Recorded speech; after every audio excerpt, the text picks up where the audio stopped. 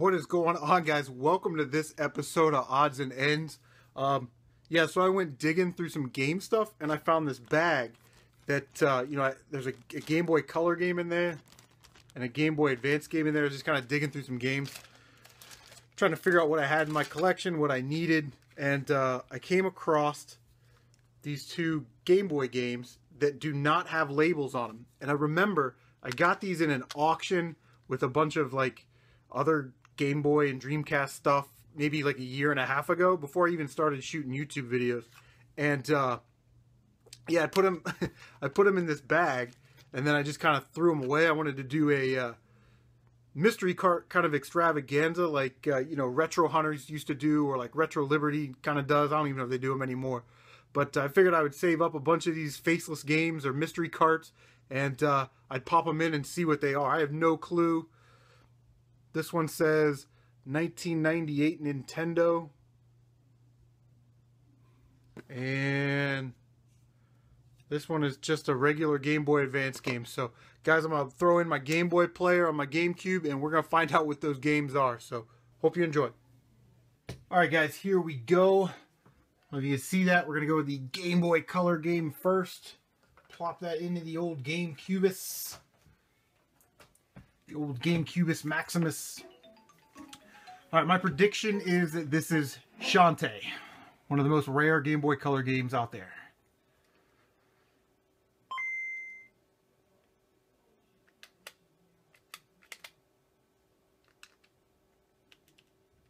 All right, hold on.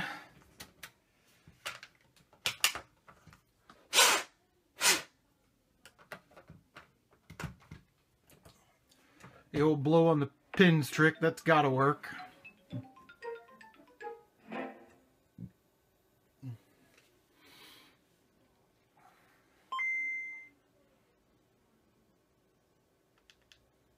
Isn't this magical? What a great episode. Uh, Hold on, let me try and use the old uh, Q-tip alcohol technique.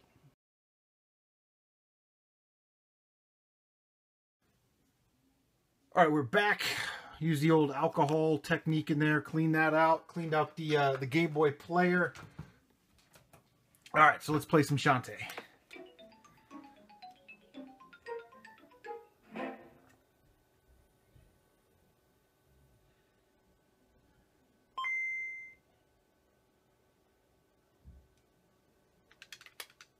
All right. Uh, I don't think this one's working, so let's switch over to the Game Boy Advance game.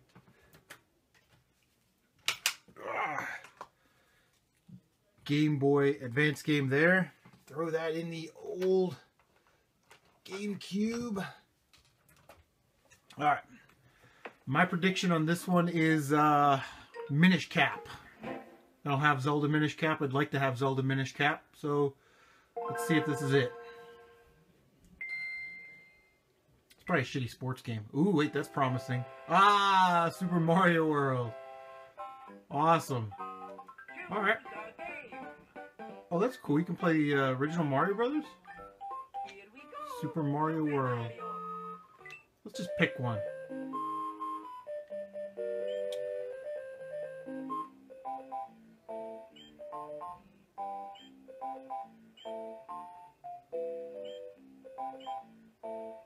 This is cool. Yeah, I love this game. Alright. Taking a trip down memory lane here. I haven't actually played Mario World in a really long time. Let's give one of these levels a try.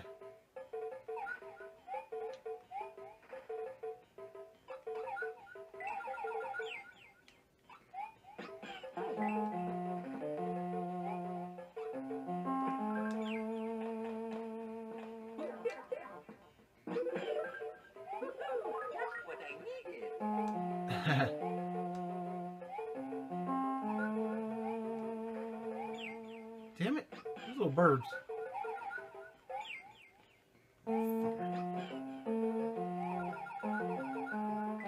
I haven't played this in so long I forget. God damn it, you birds! I haven't played this in so long I forgot that uh, I had a turtle shell and I could actually fly with Blue Yoshi.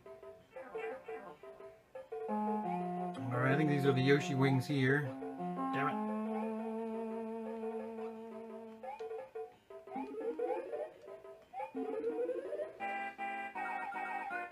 Yeah.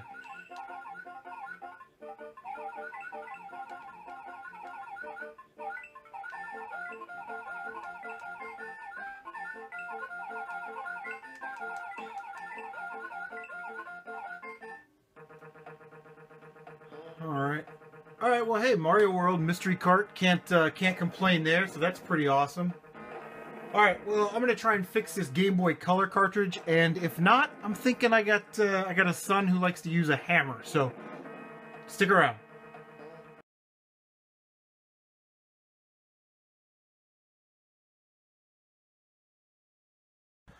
What is going on, everybody? This is my son William, and in one hand he has a hammer, and in the other hand he has a Game Boy Color game that doesn't work. Now, William, tell the good people what you would like to do to that Game Boy Color game. I'm gonna smash it with a hammer. Well, then smash it with a hammer. Alright.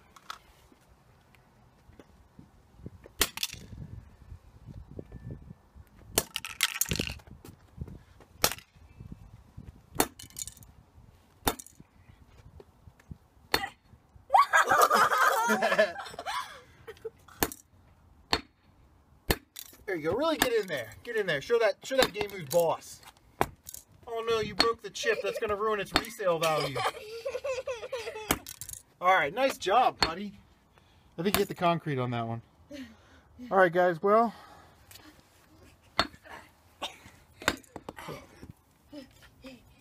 unfortunately, guys, I think it's lost a lot of its value. So, hey, now William, Okay.